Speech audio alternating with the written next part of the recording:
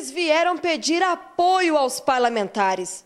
Representando os 485 policiais militares inválidos existentes no Estado, PMs inativos e dirigentes da associação que representa a classe vieram à Assembleia Legislativa para reivindicar um benefício perdido.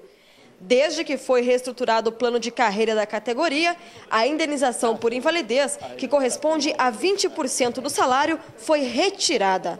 Para nós é já uma diferença grande no nosso vencimento. A gente ganhava 3.085, com esse aumento que diz que foi um grande aumento, eu fui para 3.378 reais. Então já faz uma grande diferença, né? A gente tem problema, gasto com saúde, né, remédio, transporte.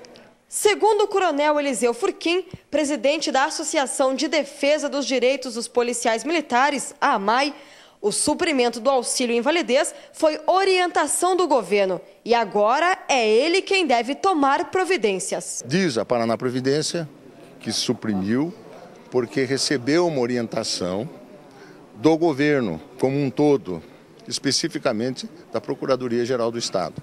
Logo, não existe mais auxílio invalidez. E essas pessoas já estão há 30 dias sem receber, 60 agora com certeza, e se não houver uma providência rápida e urgente, ficarão também no próximo mês.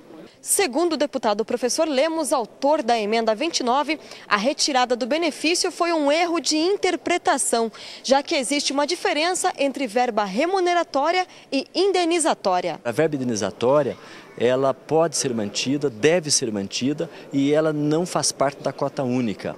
Então, portanto, nós apresentamos uma indicação legislativa para que o governador imediatamente devolva os 20%, os 20% dessa, desse benefício aos militares é, que foram para a reserva, motivados é, muitas vezes por tiros, né? alguns não conseguem sequer levantar da cama, muitos estão em cadeira de roda. Esse 20% é devido aos nossos policiais e bombeiros militares e precisa ser devolvido urgentemente e retroativo a 1 de maio.